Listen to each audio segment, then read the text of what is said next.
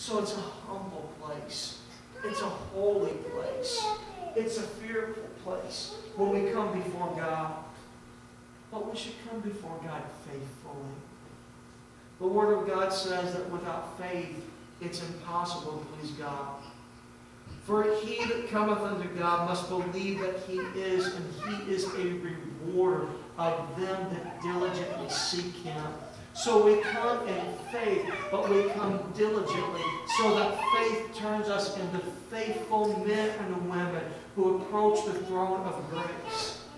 You see, when we come before God, we come in faith, knowing that He is able to sustain us and keep us and give us what we need that He is able to empower us to live the life that Jesus lived and set as an example, that we should live holy and we should live righteously before Him. And because we come in that faith, we come faithful. We're diligent, Dennis. I come, you know what? You know why I come before God faithfully? I come examining myself. I come prepared. I come giving myself ample time. Because, God, I trust you, and you deserve this. I don't come as I am, but I come as Christ is. Not my will, but thy will. We've talked about being fearful. We've talked about being humble. But I wonder if we could throw another ingredient to this recipe of how we approach the throne of grace. That we come boldly. Not only, Sister God, do I need to be humble, not only do I need to be fearful and reverent, but I know I can come boldly. The Word of God says, Let us come boldly before the throne of grace, that we may obtain mercy and we may find grace to help in a time of need. Brother Eli, you know why I can come before God boldly? Is because I need His grace and I need His mercy, and I need His help. So I prepared myself, and I've not come just nonchalantly. I've not come living in sin. I've come keeping my life in the blood of Jesus Christ. I've come by the labor, and I've washed myself with the, the water, the labor of His Word. I, I can come boldly because I need your grace today, God. I need your help. And so I'm not coming as I am, but I'm coming boldly through the blood of Jesus Christ, knowing that I have access to the throne room today. And so, with a contrite heart, I'm humble before you, and I reverence you, and I'm coming in a holy way. But God, I come boldly because I need your help. And That's why we come to church to worship God, but to obtain help from God. Amen. He wants to help us tonight. But I think here is where we really mess up. On number six, because we live in such a, an, an age of instant gratification. But we have to, we have to be patient. We're so familiar with that in Isaiah uh, 40, verse number 31. But they that wait upon the Lord shall renew their strength. Have we ever really learned to wait on God? It's a beautiful wait on God. I'm waiting on you. You know, there are times, both down in church, where the presence of God is. And if I ever err, I want to err on just trying to be patient.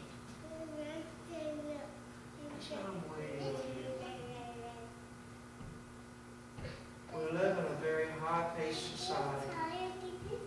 Not work a job where it's a first come, first served basis. And when there's a lot of people come at once, people don't like it. I can move fast, and I do, but there's only so fast I can go. And they might let me know. I, I've been waiting on you for 25 minutes now. How do you feel when you go through McDonald's? I'm sorry, could you go over there and bring your food out when it's ready? You probably don't like that a whole lot. How many of you like getting stuck behind uh, slow moving traffic or maybe a buggy when you're really trying to get on with your day? You know, we become impatient. But when we come before the throne of God,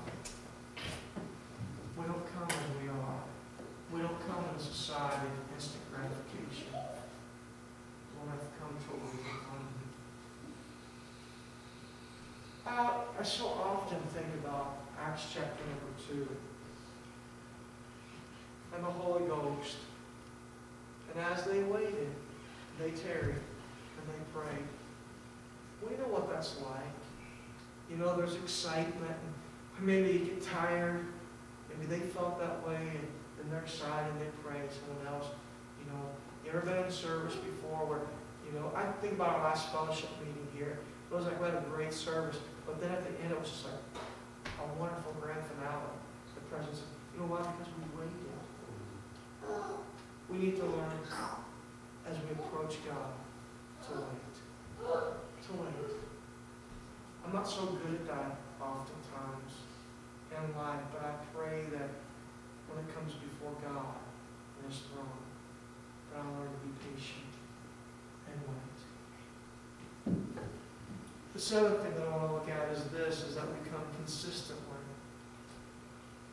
I won't read it, but you can reference it in Luke 18, verse number 1 through 8. Do you remember the, the judge that was unjust?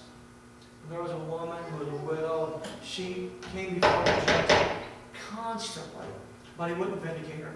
You know, she's just a woman, she's just one small voice, she doesn't have anyone to, to, to, to, to advocate her part, she doesn't have any money, she doesn't have any prestige. Just one little lady, she wants to be a, bench of her adversary. Finally, the judge, he said, I avenge her. She I'm growing weary, because she's consistent.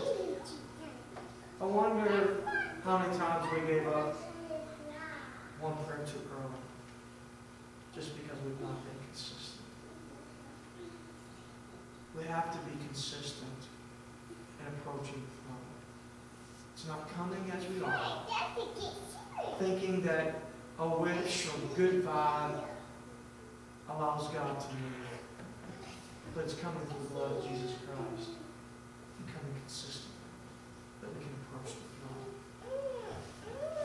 Once again, Proverbs tells us there's a way that seems right to the man, but that way leads to death.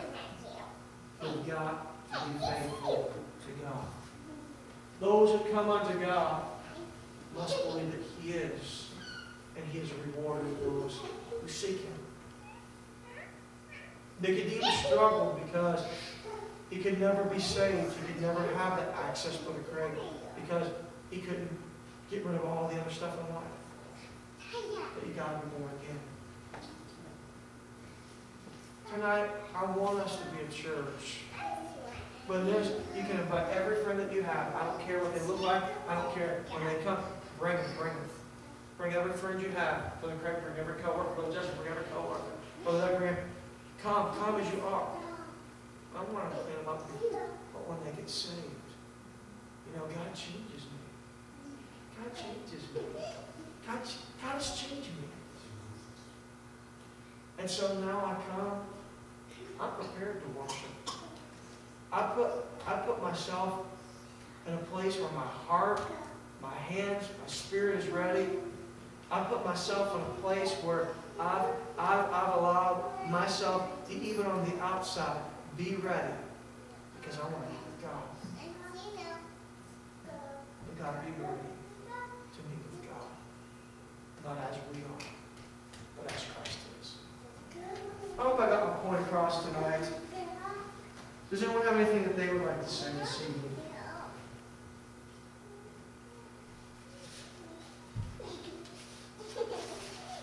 Mr. Richard? I know the account of that man from Gadara and how. I'm sorry? The man from Gadara and how that, you know, before he got house, he was, uh, he's a thriving person. I'm sure mothers probably get their children and say, you know, don't go close to him. He said, it's not safe for you around him. Um, But when he met Christ, he was so changed. Um, It was a physical change. When they, he was clothed and he was able to. Amen. And he wanted nothing more than to be with Jesus. And I believe that when God transforms somebody, you can see it and you can feel it. Amen. Person. Amen. Well, Paul and Silas were in prison because, you know, there was a little girl who got delivered. For a lack of a better terminology, she was the freak show for someone, and someone made big money off of her because she was demon possessed. But when she was delivered, all the money didn't come in now. Because she was a different person all the way around. So Paul Silas found himself in jail because they affected someone's finances. You're right, Sister Rachel. When Christ comes in, oh, how he changes us. Oh, how he changes us. And I'm thankful for the change. Amen. And it will. Clothed and in your right mind. Look how it came Paul. And he got saved. He, he was a wicked guy. Amen. When he got saved, he was all tested. Amen. Amen. I don't want anyone to go here tonight and think that I was, I don't want to be condemning of folks. There are some good folks who love and want to worship God who's never been taught the truth. We can't, we can't condemn people if they've never been taught the truth. You know, there's a lot of pastors, like I said, there's a lot of churches that just want a warm body and a pew. So they, they preach and allow anything. It's not a lot of people's fault. But we have a responsibility to say you become as you are. The good news, Jesus doesn't leave you as you are. Amen. He doesn't leave you as you are. Aren't you glad that He delivers the drug addict? Amen. Amen. Aren't you glad that He delivers the drunkard? Aren't you glad that He's the one that delivers the person who believes that, that, that they, they, they, they've got to, to, to look indecent, to get lots of uh, uh, recognition and feel important, but when they find Jesus Christ, you know what? He, they find that, that, that He is their all and all, and He makes them beautiful inside and out and gives them their wonderful purpose. Amen. But we in this church, a Miracle Revival Church, you can come as you are. Praise God. You can come back as Jesus, as Jesus is, and you can approach the Father. Someone else tonight. Let's be like Jesus. Let's be like Jesus. I hope I've been able to empower you with uh, some scripture, some knowledge of sharing why, well, why do we believe the way we believe? Why do we think it's important to make time for God? Why do we think it's important to read the Word of God and examine our life? Because God doesn't want us approaching Him nonchalantly. God doesn't want us approaching Him as we are. But God wants us to approach Him through the blood, that we may find mercy and grace that will help us. Amen. Let's stand tonight. I'm glad you're here. Remember, Brother Tony will be here, Brother Ross next week.